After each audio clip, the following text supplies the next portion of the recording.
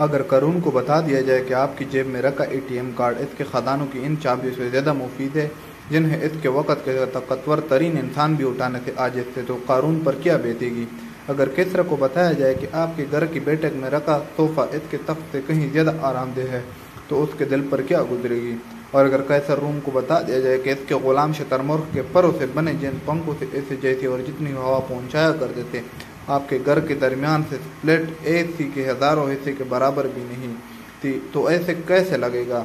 आप अपनी पुरानी सी करोला कार लेकर हलाकू खान के सामने फराठे भरते हुए गुजर जाएँ। क्या अब भी इसकी अपनी घोड़ों पर सवारी का तकबर और नफवत बरकरार रही होगी? हर हर कोल ख़ास मट्टी से बनी सुराही से ठंडा पानी लेकर पीता था तो दुनिया उसकी इस आसाइश पर हसद किया करती थी। तो अगर उससे अपने घर का कूलर दिखा दे तो वो क्या सोचेगा? खलीफा मंसूर के ग़ुलाम उसके लिए ठंडे और गर्म पानी को मिलाकर गसल का अहतमाम करते थे, और वो अपने आप में फूला नहीं समाया करता था। कैसे लगेगा अग, इससे अगर वो तेरे घर में बनी जकूदी देख ले तो? ऊँटों पर सवार होकर हज के लिए घर से निकलते थे और महीनों में पहुँचते थे, और आज तो चाहे तो जहाज़ में सवार चंद घंटों में मक्का पहुँच सकता है।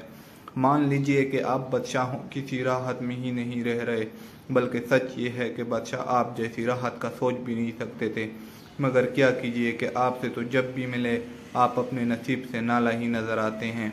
ऐसा क्यों है कि आपकी जितनी राहतें और वसीयतें बढ़ रही हैं, आपका सीना उतना ही तंग होता जा रहा है। अल्हम्दुलिल्लाह, पढ़िए, शुक्र अदा कीजिए, खालिद की इन नेमतों का जिनका शुमार भी नहीं किया जा सकता। वसलाम शुक्रिया सब